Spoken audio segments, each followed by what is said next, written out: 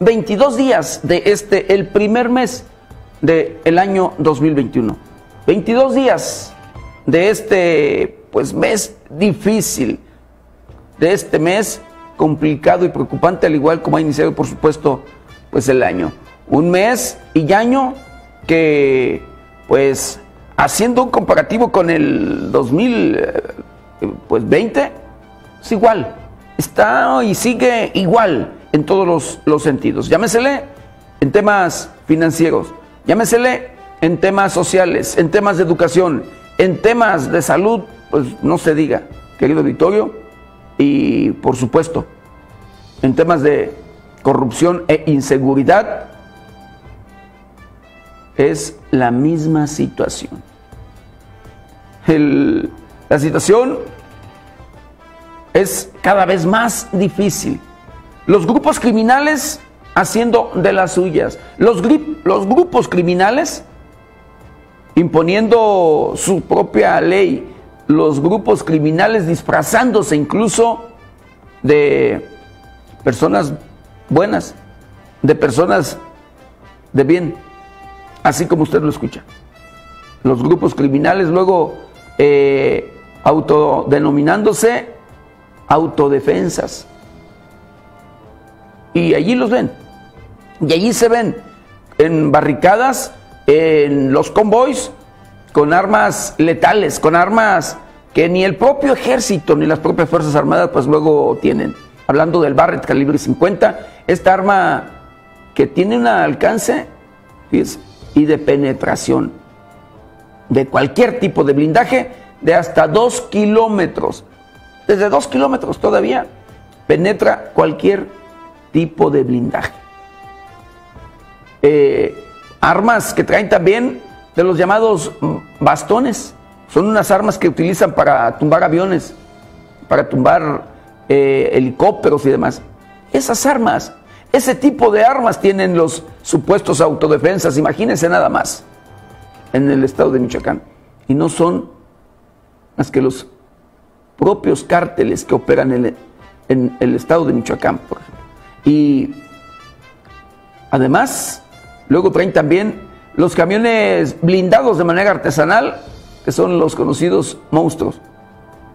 Así. Los monstruos que traen para un lado y para otro y que les denominan ellos barricadas móviles.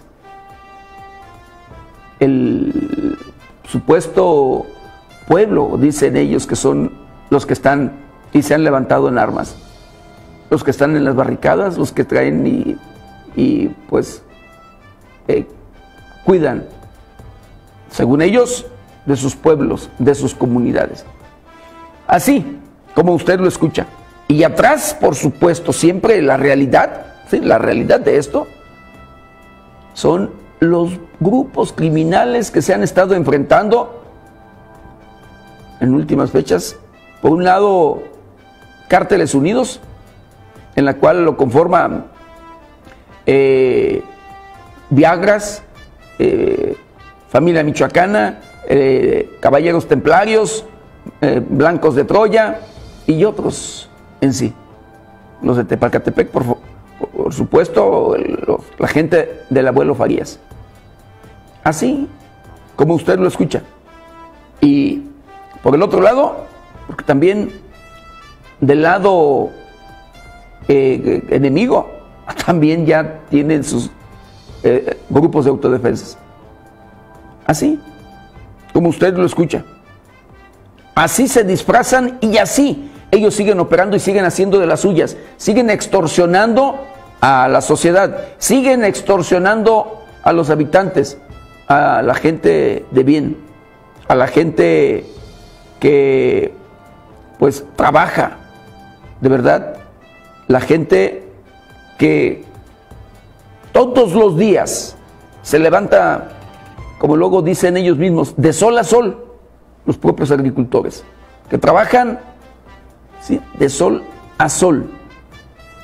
Los agricultores, los productores de limón y todos los productores eh, del tema agrícola de la región de Tierra Caliente, a quienes los obligan a que tienen que entrarle con el mocho sea, la extorsión.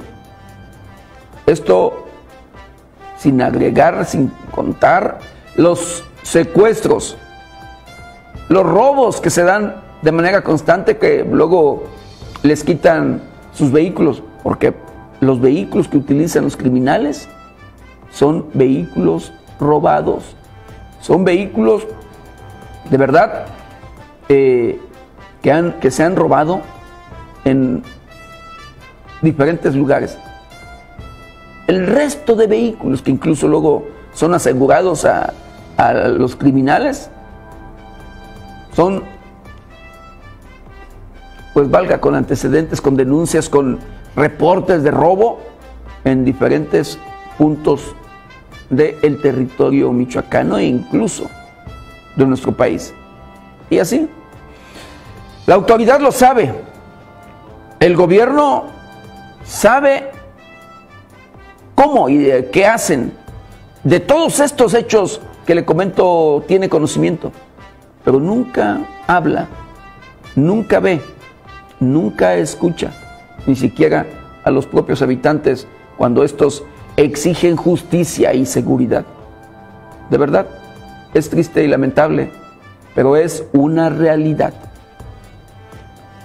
Por supuesto, el gobierno habla de su propia realidad y hablando del propio gobernador del estado de Michoacán, Silvano Aureoles Conejo. Él siempre, sus discursos son alegres, sus discursos son de cifras amables, de cifras agradables, cuando en la realidad, la realidad es otra, como se lo comento. Así, así de simple. Triste y lamentable, pero así son las cosas. El propio gobierno federal incluso, sin tampoco hacer eh, mucho en el Estado. El presidente de la República hace poco, hace unos días, vino a, llegó al estado de Michoacán a inaugurar cuarteles, más cuarteles de la Guardia Nacional. Elementos de la Guardia Nacional que luego de verdad ni siquiera pueden actuar, que ni siquiera pueden cumplir con lo que les mandata la propia ley, porque ellos mismos lo dicen, tienen miedo a que también los metan luego a la cárcel.